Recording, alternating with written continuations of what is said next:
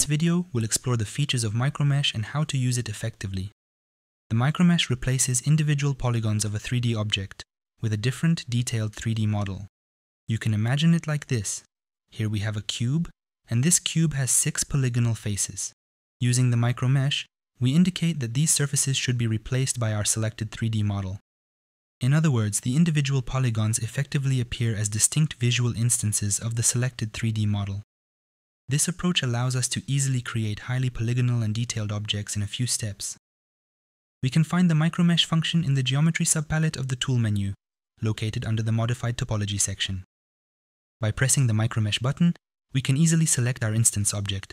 Up here, we have prepared a test geometry for demonstration purposes. Essentially, we can use any custom geometry for the micromesh process. We click the micromesh button and then carefully select our instance object. A small notification window now displays. This indicates that we can only view our micromesh when working in the best preview render mode.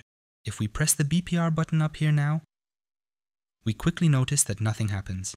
To show the micromesh in the viewport, we need to navigate to the render palette up here. And in the render settings, we enable the micromesh option. And now the BPR displays the correct result.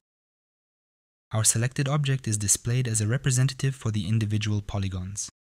Consequently, if we divide our object down, the instances will become smaller as the polygons also get smaller. To align our instance 3D object, we can either rotate it using the Align Edge button option here, or we enter the instance, and we change the orientation of the object as needed.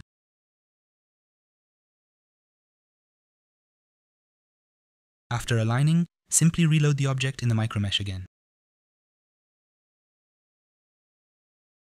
As we have already learned, we can create uniform polygons by using the Z-remesher. Let's give it a try and test it out. We'll navigate to the Z-remesher section and set the adaptive size slider to 0. Next, we will reload our instance object into the micromesh again.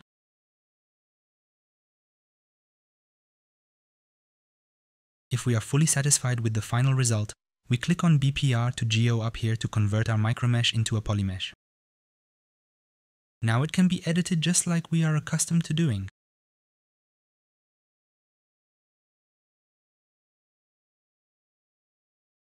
In the next video, we will explore FiberMesh,